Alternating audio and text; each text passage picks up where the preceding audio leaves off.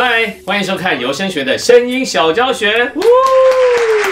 在游戏里学声音，用声音玩游戏。哇哦！大家好，今天我们要透过《边缘人之极速狼人杀》台语局的游戏内容，来跟大家分享一些声音的小知识，探讨关于声音的各种可能性。好，一样还没有看过影片的朋友，按这边看完以后再回来我们的声音小教学哦。这次我们的台语局派出公司三位台语咖北练凳的选手上场，为的是什么呢？除了取悦大家博君一笑以外，其实更希望大家去深入思考一下，语言对我们的意义到底是什么。每个人呐都有出国的机会，或是和不同语文文化的人交谈的经验。那通常在这个时候，会是以什么状态和对方沟通呢？嘿，你看。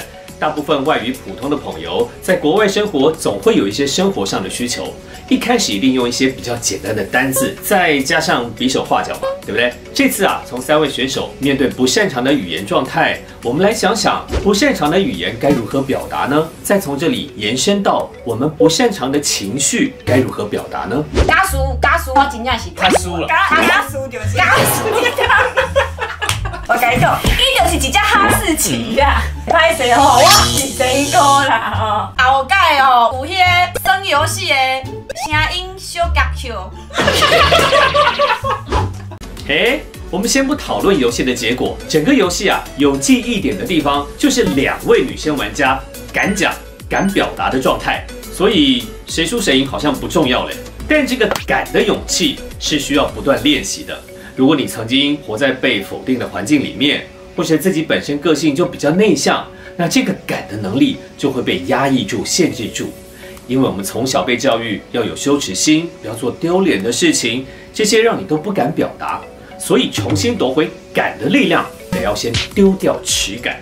这个丢掉耻感的表达过程，就是在重新翻译自己内在的欲望、状态、感受，还有情绪。让它成为一种行为，或是变成一个语言，这也就是自我需求的表达，甚至它可以进化成情绪的沟通。所以，不擅长的语言呢，我们也可以把它理解成为不习惯的表达方式。反正这条路不通，就换另一条嘛。不去尝试表达，别人根本没有机会理解你，也让你断了与他人的连结，这不是很可惜吗？处于长时间的。哎呀，算了算了算了，那会让我们失去我们本来就拥有的沟通能力哦。如果看到这个影片的你，发现自己有情绪压抑的状况，从今天起，不妨试着让自己丢掉耻感，勇于表达，从每一次的表达里面找回属于你自己的力量。好，来，重点整理啦。第一点，丢掉耻感，我最大胆。抱着耻感，不仅对表达有很大的障碍，时间长还会内伤哦。第二一点，此路不通，另有蹊径。表达自己的内在啊，非常重要，多尝试，尽力去表达，外界才会有机会理解你真正的想法啊。学会了吗？以上呢，就是今天的游声学的声音小教学，我们下次见，拜拜。